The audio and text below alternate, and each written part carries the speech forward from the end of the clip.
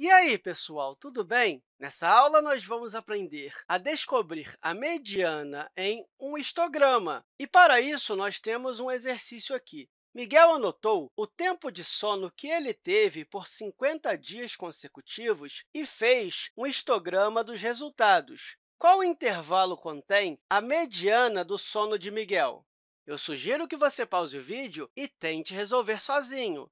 Ok, vamos lá. Nós temos esse histograma aqui e um desses intervalos contém a mediana do sono de Miguel. E você lembra o que é uma mediana? Se não, vamos relembrar agora. Se nós tivermos 11, 9, 7, 3 e 2, para encontrar a mediana, primeiro nós temos que organizá-los do menor para o maior. E se fizermos isso, vamos ficar com 2, 3, 7, 9 e 11. A mediana sempre é o termo central, e, nesse caso, é 7. Isso porque eu tenho uma amostra ímpar. Mas e se tivermos uma amostra par? Como descobrimos a mediana? Bem, deixa eu colocar uns números aqui já organizados. 1, 1, 3 e 7.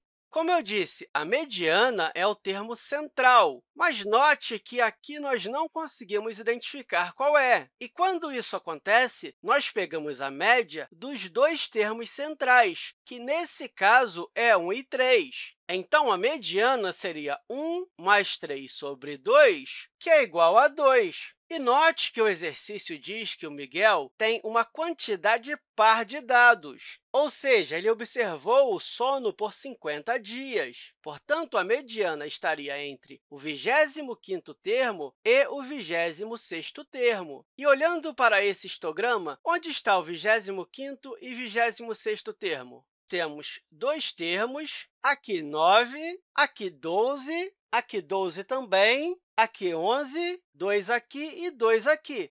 E aí, se olharmos somente para esse, temos dois termos. Mas, se olharmos esses dois intervalos, devemos somar o 2 com 9, o que significa que temos 11 termos.